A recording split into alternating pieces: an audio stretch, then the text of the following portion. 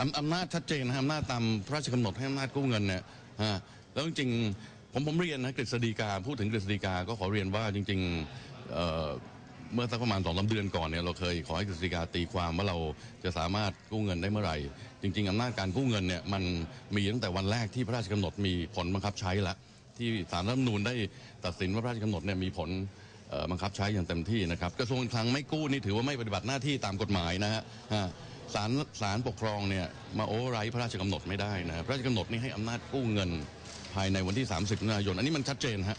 เป็นคำยืนยันของรองปลัดกระทรวงการคลังหลังการเซ็นสัญญาเงินกู้กับธนาคาร 4 แห่ง วงเงินรวม 324,000 ล้านบาท ตามพระราชกำหนดอำนาจกระทรวงการคลัง กู้เงินเพื่อวางระบบบริหารจัดการน้ำและสร้างอนาคตประเทศ หลังศาลปกครองมีคำสั่งให้คณะกรรมการบริหารจัดการน้ำ และอุทกภัยหรือกบอ ชะลอโครงการเพื่อศึกษาผลกระทบต่อสิ่งแวดล้อม และให้ประชาชนมีส่วนร่วมในการแสดงความคิดเห็น หากวิเคราะห์ในแง่มุมทางกฎหมาย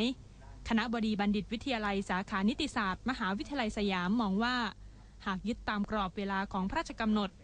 สามารถเซ็นสัญญาเงินกู้ได้ เพราะถือว่ากระบวนการได้เดินหน้ามาแล้วพระราชกำหนดแล้วต่อมาเนี่ยก็ไปผูกพันสัญญาที่จะไปกู้เงินเนี่ยนะครับ มันเป็นเหตุสืบเนื่องต่อกัน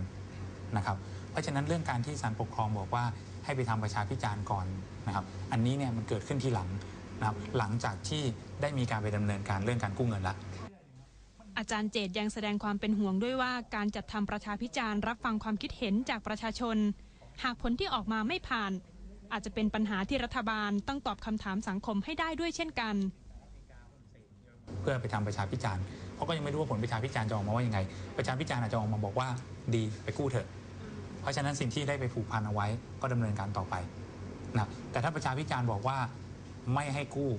ประชาชนไม่เห็นด้วย อันนี้เป็นปัญหาแน่ ก่อนหน้านี้รัฐบาลได้จัดเวทีให้ความรู้แก่ประชาชน ผ่านนิทรรศการด้านน้ำเมื่อเดือนพฤษภาคมที่ผ่านมาที่จังหวัดเชียงใหม่ เปิดโอกาสให้ประชาชนได้รับรู้ทำความเข้าใจเกี่ยวกับที่มาที่ไปของการลงทุนในครั้งนี้ วบคู่ไปกับการจัดประชุมด้านผู้นำน้ำแห่งภูมิภาคเอเชียแปซิฟิก ระดมความคิดเห็น ข้อเสนอแนะและประสบการณ์ของประเทศต่างๆ แม้รัฐบาลจะยังไม่มีข้อสรุปว่าจะยื่นอุทธรณ์คำสั่งศาลปกครองหรือไม่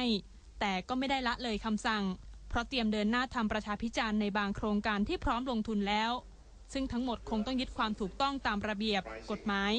ซึ่งถือเป็นความรับผิดชอบของรัฐบาล ที่ตั้งใจวางนโยบายเพื่อป้องกันน้ำท่วม และจัดการให้ประชาชน มีน้ำไว้อุปโภคบริโภคตลอดปี ทีมข่าวเศรษฐกิจ NBT News โฟกัส